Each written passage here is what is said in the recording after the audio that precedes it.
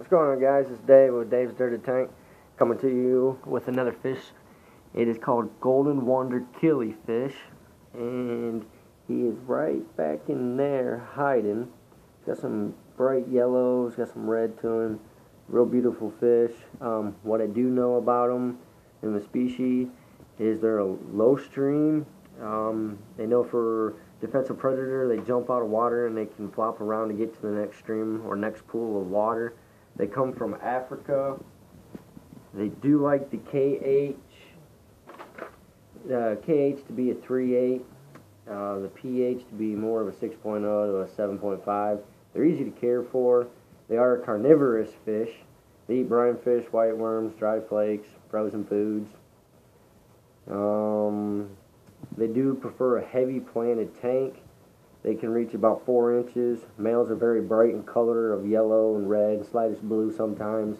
Females are more of a real dull, uh, subdued and colored form. Killifish are not an annual species either. They are they're an egg layer. They lay their eggs in Java moss. They're real easy to care for. You don't have to do anything with them. You can leave them in uh, and take care of themselves. I do catch my golden wonder killifish up at the top of the water. Uh, and again, like I said, they jump from stream to stream, so I have caught him jumping out of my tank a few times. I'm going to take this little rod and see if I can get him to come out from down there.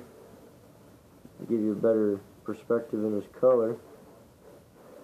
He is a pretty colorful fish. I can get him to come up. And here he comes. Looking right at us now. Let's see if I can get a good angle from the side. Sorry the video is real shaky. It's beautiful fish though.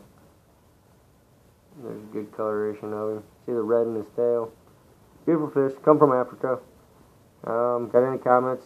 Put them down below. Got questions? Put them down below. Like and subscribe, man. I keep making more videos. Dave with Dave's Dirted Tank. See you.